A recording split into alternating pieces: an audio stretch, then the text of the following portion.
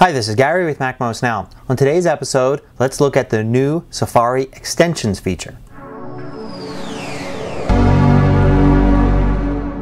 This episode of MacMost Now is brought to you by Gazelle. Gazelle is the easiest and fastest way for you to sell and recycle your gadgets.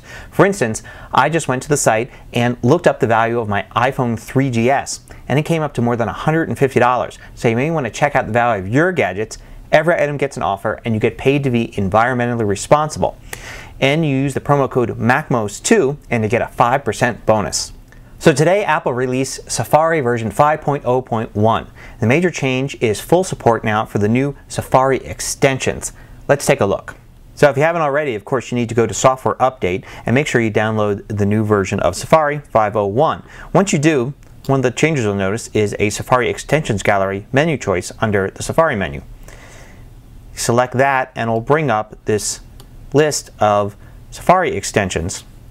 There's a whole bunch of different ones, a few recommended at the top, and the list goes on and on different ones that you can choose.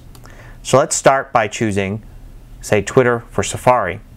And most of these have an Install Now button. And you see you click on it, and it actually installs just like that immediately installs. There's nothing else you need to do. So what does this Twitter toolbar do? Well, of course, you've got a search field here to directly search Twitter.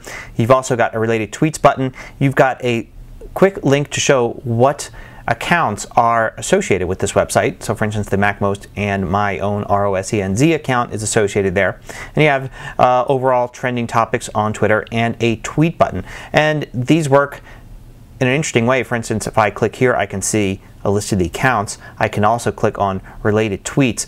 And it's more interesting if you go to a piece of content. So say, for instance, let's go to this Automator tutorial here and I'll click on related tweets and it gives me the sidebar here and it shows me several tweets about Automator including three that are about this article in particular.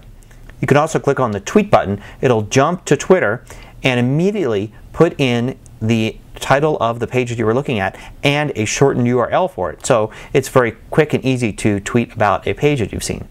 Here's another one I found useful. There's a Gmail counter toolbar. Install that and immediately puts this toolbar up here and it will tell you how many messages you have in your Gmail inbox and what the subject of those messages are as well. So now when I go to a YouTube page and I am viewing a video, I can click on that button there and you can see it dims out everything else on the page except the video content.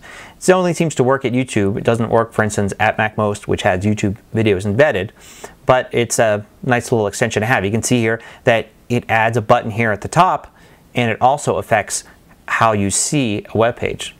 Here's another interesting one that adds a button. This is called duplicate tab button. And of course, you've had the ability now to create new tabs very easily.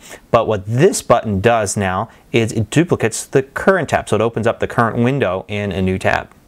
Now there's much more to extensions than just that. If you go to Safari and Preferences, there's a new tab here called extensions and you can see a list of all the extensions you've had installed. You can easily uninstall any one of these by clicking on the uninstall button. You can also disable the extension as well and these, check, these uh, changes take effect immediately.